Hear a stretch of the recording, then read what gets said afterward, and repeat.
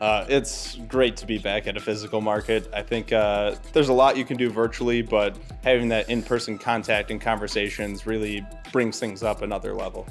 Uh, we like Las Vegas market because it's the best place for uh, industry people in the bedding industry to gather. It's the best way to make contacts, and uh, it's the best way to learn about um, what's going on in the industry, what's new. So it's it's just the best place for that.